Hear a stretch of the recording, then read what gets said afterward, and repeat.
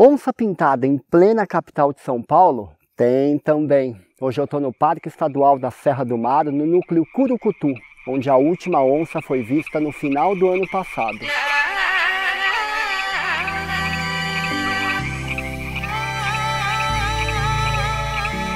Sem dúvida, esse é um dos parques mais lindos e importantes de São Paulo. É um corredor biológico de Mata Atlântica que abrange 25 municípios, incluindo o litoral e o Vale do Ribeira. Vem ver como é que São Paulo fica bem aqui.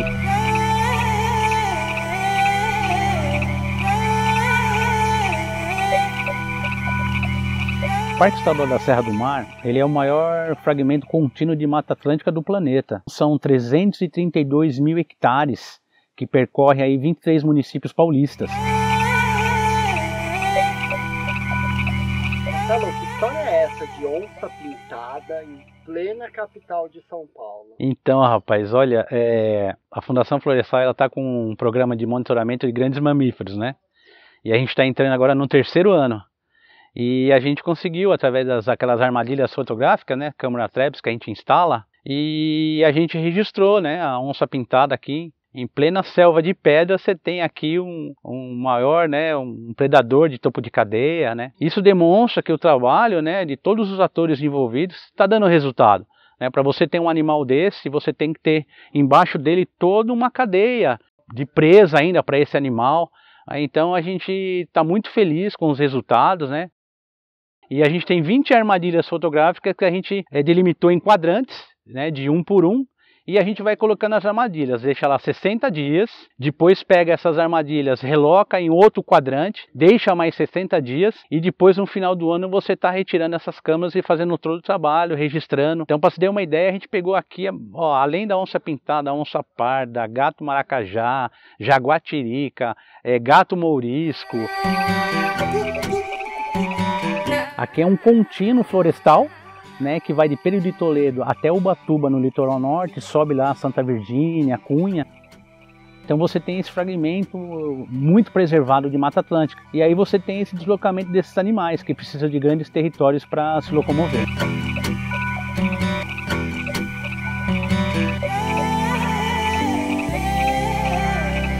Você está na dúvida entre ir para o mato ou para o litoral?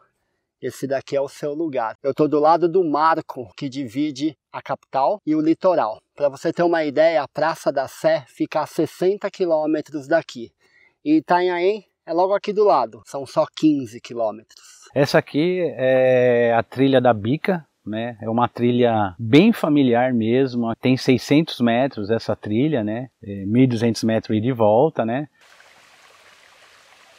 Mas é super tranquila. Aqui é realmente para a pessoa contemplar a natureza. Aqui a gente vê muitas aves, né? Aqui a gente faz até um programa de observação de aves. A gente vem nessa trilha com o pessoal. A paz aqui é total, né? Isso que é gostoso, né? Você sai dos centros urbanos aí com a cabeça a milhão, chega aqui, né? Espiritualmente, assim, você tem uma outra visão, né? Então é bem legal mesmo.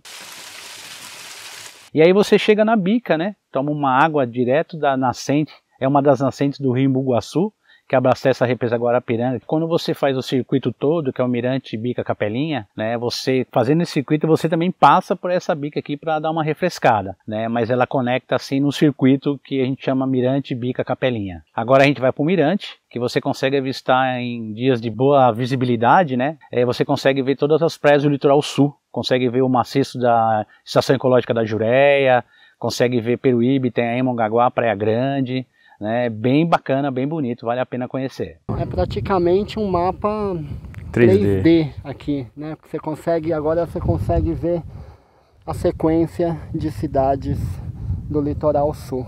Incrível, Isso. muito bom. Basicamente você enxerga os quatro municípios, né? Olhando.